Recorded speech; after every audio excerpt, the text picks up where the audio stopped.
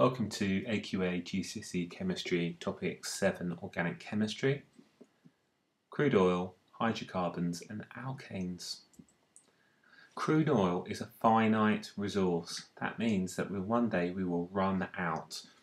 And it's found in rocks.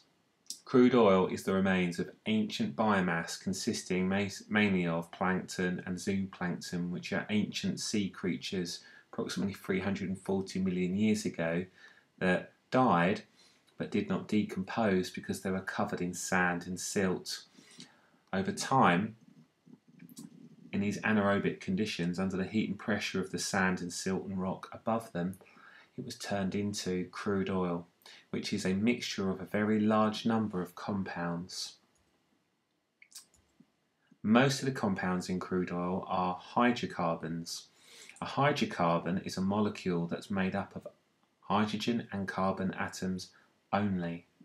And this is a two mark question in the exams, and you get one mark for saying it's a molecule made up of hydrogen and carbon, and you get the second mark for the word only. So remember to include the word only in your definition. Now, most of the hydrocarbons in crude oil are alkanes. And the general formula for the homologous series of alkanes is CnH2n plus 2. We'll talk about that in a moment. Now, the word homologous means homo means same, so they have the same general formula, as, uh, but logous series means that they differ by every time CH2. So they have same similar properties, similar chemical and physical properties, but differ slightly. Now you need to know the first four members of the alkane family. That's methane, ethane, propane, butane. And a mnemonic that we remember that is Mary eats peanut butter. M E P B.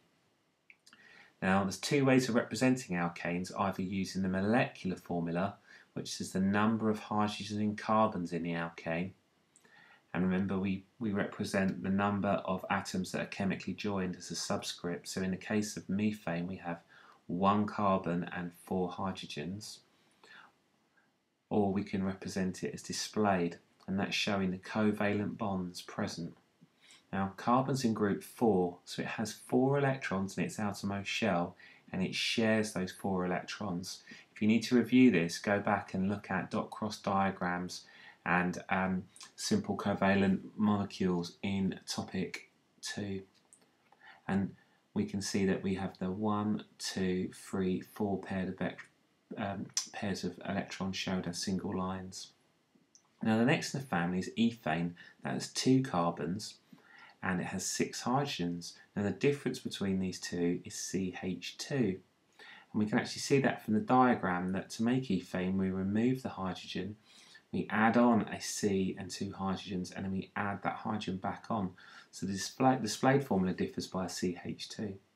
And this goes on in a logical series. So propane has three carbons and eight hydrogens. And as we can see, it's got, we take off the hydrogen, we put on a carbon and two hydrogens, and then we place back on the hydrogen, so we've added CH2.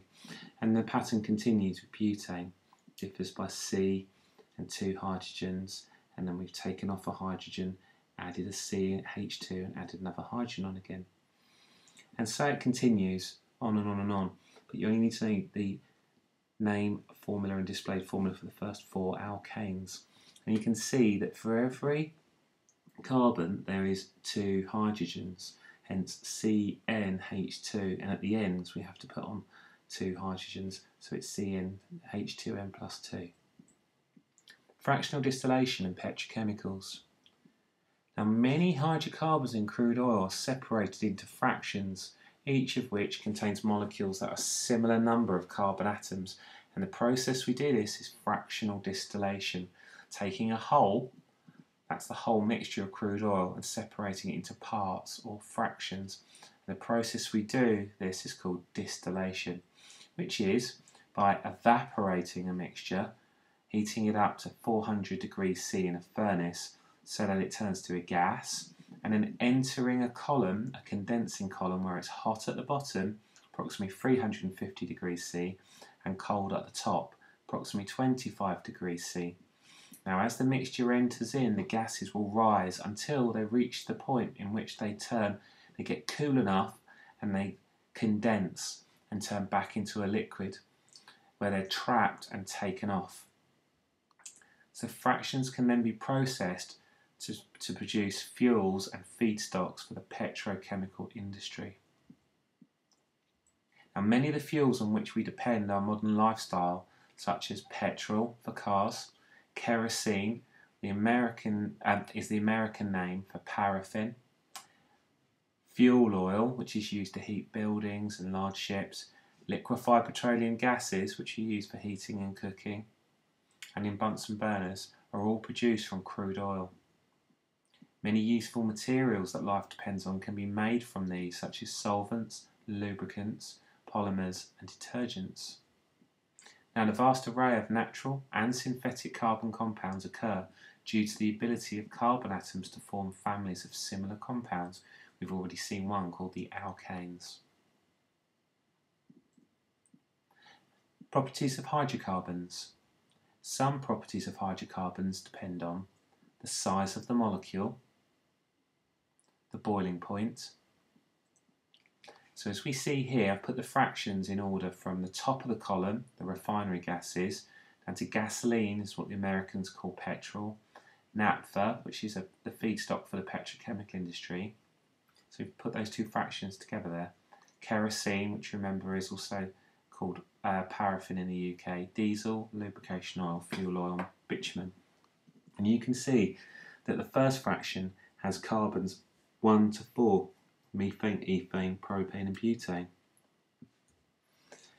And then next we have C5 to 10, which is petrol, kerosene 10 to 16, diesel 14 to 20, lubrication oil 20 to 50, which also includes fuel oil, which is quite heavy 20 to 70, and bitumen or tar, which has 70 or more carbons in.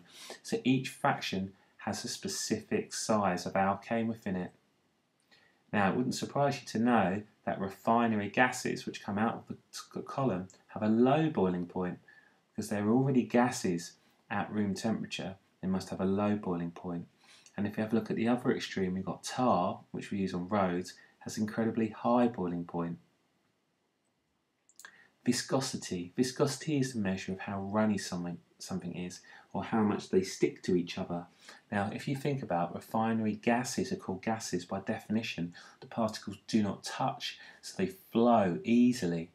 A gas is a fluid, so therefore they are not viscous. They are very much less viscous than the opposite, which is tar, which is very sticky or viscous. So viscosity increases as you go down the column flammability. One of the reasons, well, the, a lot of hydrocarbons are used as fuels, but if we think of how easily it is able to light methane gas out of a Bunsen compared to tar used on roads, the trend of flammability is that they become easier to light or more flammable as we go up the column. That is, that the carbon length decreases. So, to repeat, boiling point increases with carbon chain length. Viscosity increases with carbon chain length. Flammability decreases with increasing chain length. These properties are influenced on the uses of them as fuels. Properties of hydrocarbons.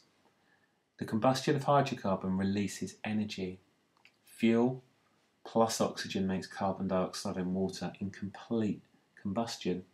During combustion, the carbon and the hydrogen fuels are oxidized. Carbon becomes carbon dioxide and the water becomes H2O. Now you saw a demonstration of uh, testing for the products of combustion in the lab. In this uh, diagram we have a candle which is made of wax, which is made from hydrocarbon, is being combusted and using a vacuum pump the waste gases from combustion are being sucked along this tube into this U tube.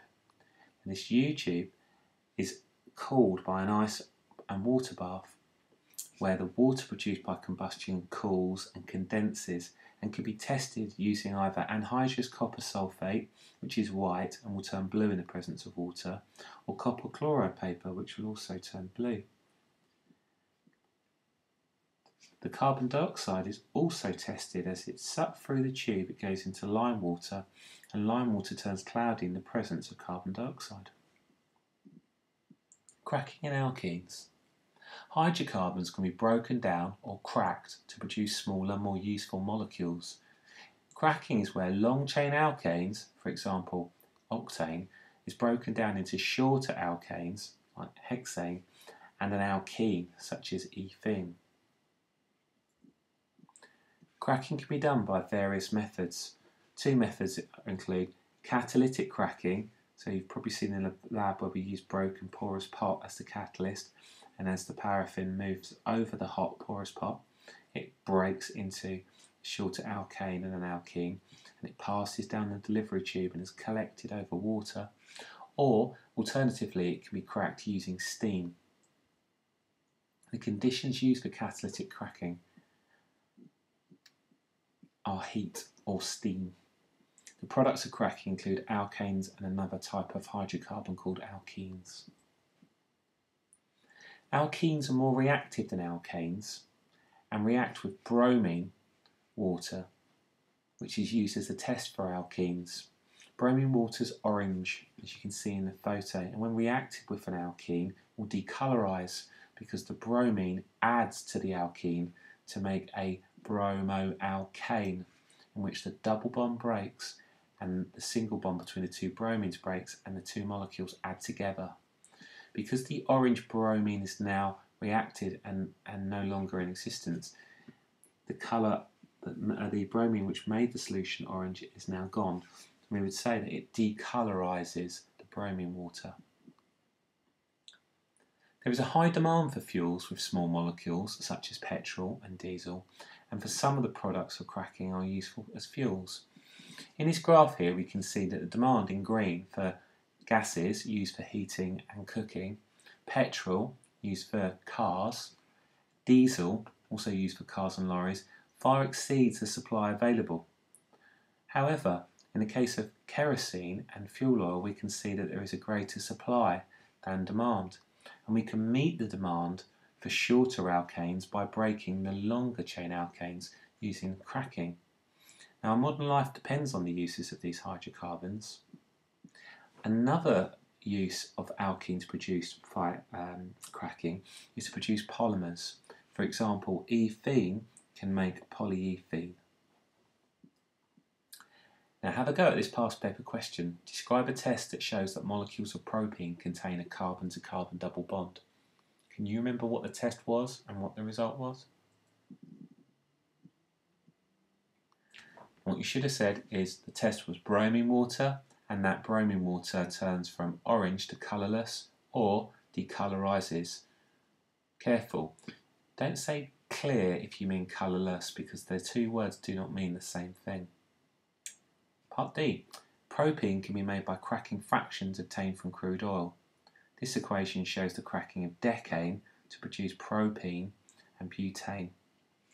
If the total mass of products formed is 17 grams, sorry, if 17 grams of decane has been cracked, what's the total mass of all products formed?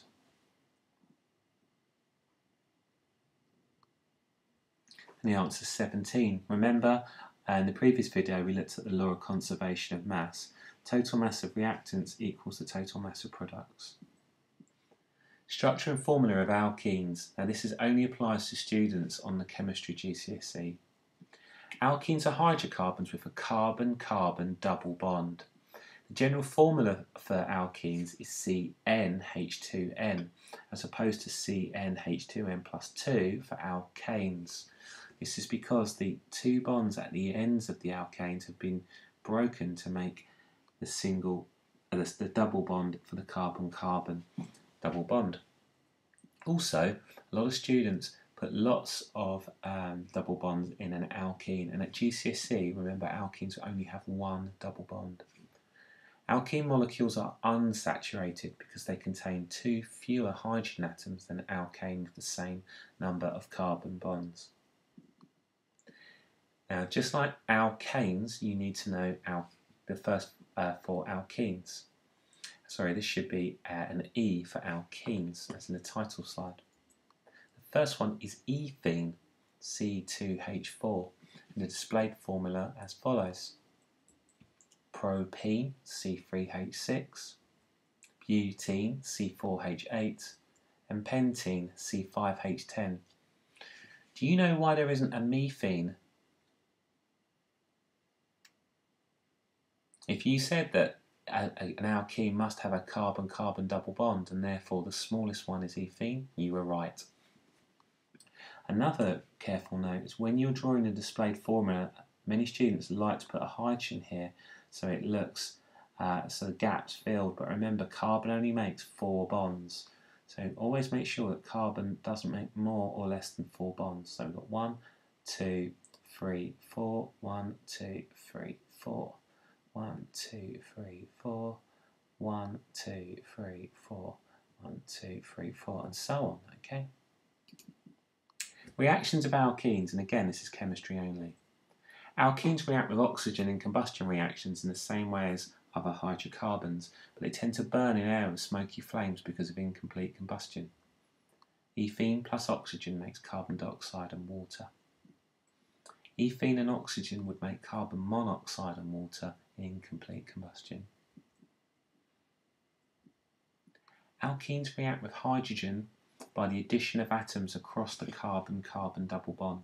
So the, the carbon-carbon double bond and not the single bond breaks, and the bond in the molecule that's adding to it breaks, so that we end up with these two bonds being formed. in this reaction, which is called hydrogenation, and alkene and hydrogen react to form ethane. The reaction conditions are a nickel catalyst at 150 degrees Celsius. Alkenes also react with water by the addition of atoms across the carbon-carbon double bond so that the carbon-carbon double bond becomes a single bond. The reaction conditions for this are an acid catalyst such as phosphoric acid 300 degrees C and high pressure, 60 atmospheres. Alkenes react with a halogen as we've seen before by the addition of the halogen across the carbon-carbon double bond. So it becomes a single bond and we make two bonds with the bromine. And this occurs with bromine at room temperature. The reaction is the same if you use chlorine and iodine. Alcohols. Alcohols contain the functional group OH so the smallest group is methanol, where we've taken off a H, taken the E off methane, placed it with an OH, and called the methanol. Similarly with the molecular formula, we take one H off and replace it with an OH.